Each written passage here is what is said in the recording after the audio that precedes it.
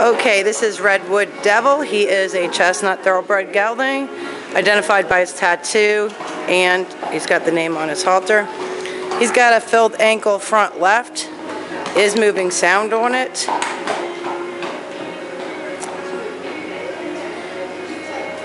He is about 15 two and a half hands.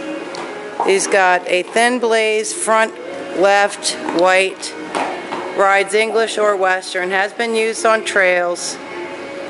Uh, he does crib mildly. Thank you, Selena. Good boy.